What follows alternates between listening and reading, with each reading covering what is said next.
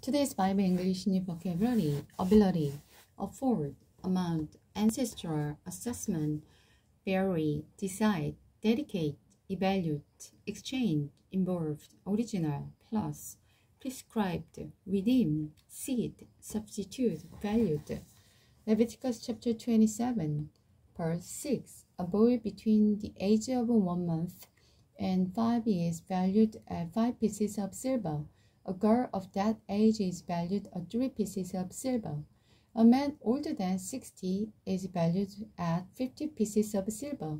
A woman older than 60 is valued at 10 pieces of silver. If you desire to make such a vow, but cannot afford to pay the prescribed amount, go to the price and he will evaluate your ability to pay.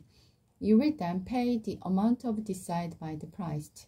If your vow involved giving a clean animal, one that is acceptable as an offering to the Lord, then your gift to the Lord will be considered holy. The animal should never be exchanged or substituted for another, neither a good animal for a bad one, nor a bad animal for a good one.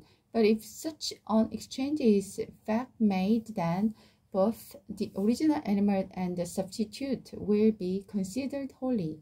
But if you vow involved an unclean animal, one that is not acceptable as an offering to the Lord, then you must bring the animal to the priest. He will assess its value and its assessment will be final.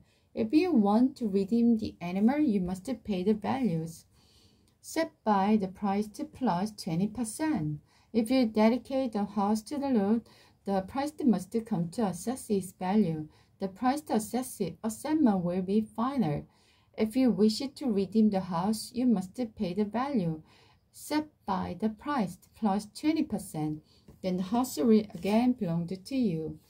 If you dedicate to the Lord a pieces of your ancestral property, values will be assessed by the amount of seed required to plant it.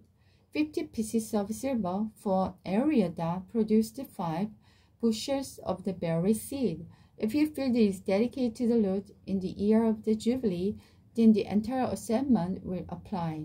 Then if the field is dedicated after the year of Jubilee, the priest must assess the land's value, a proportion to the year left until the next year of Jubilee. If you decide to redeem the dedicated field, you must pay the land value as assessed by the price plus 20%. Then the field will again belong to you. If you decide not to redeem the field or the field is sold to someone else by the price, it can never be redeemed.